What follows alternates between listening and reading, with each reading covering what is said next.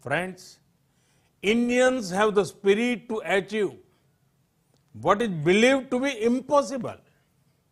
No wonder that in India we are already seeing green shoots when it comes to economic recovery.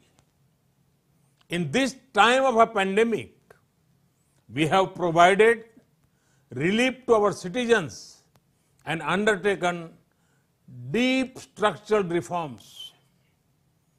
We are making the economy more productive, investment friendly, and competitive. Our relief package has been smart and targeted to provide the most poor with the most help. Thanks to technology, every penny has reached the beneficiaries directly.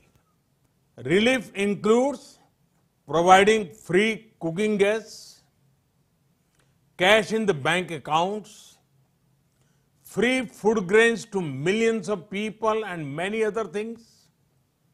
As soon as we unlock, we have launched one of the world's largest public works program to provide employment to millions of workers.